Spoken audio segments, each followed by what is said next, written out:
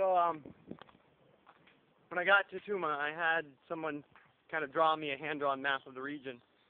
And out on this road that kind of follows Rio Tuma is a town called Beta. And so I'm walking in that direction. I hear that it takes as much as three hours to walk there. I don't know if it's three hours one way or two. Uh, can't promise I'll make it. But um, yeah, here's a kind of a barrio of Tuma behind me.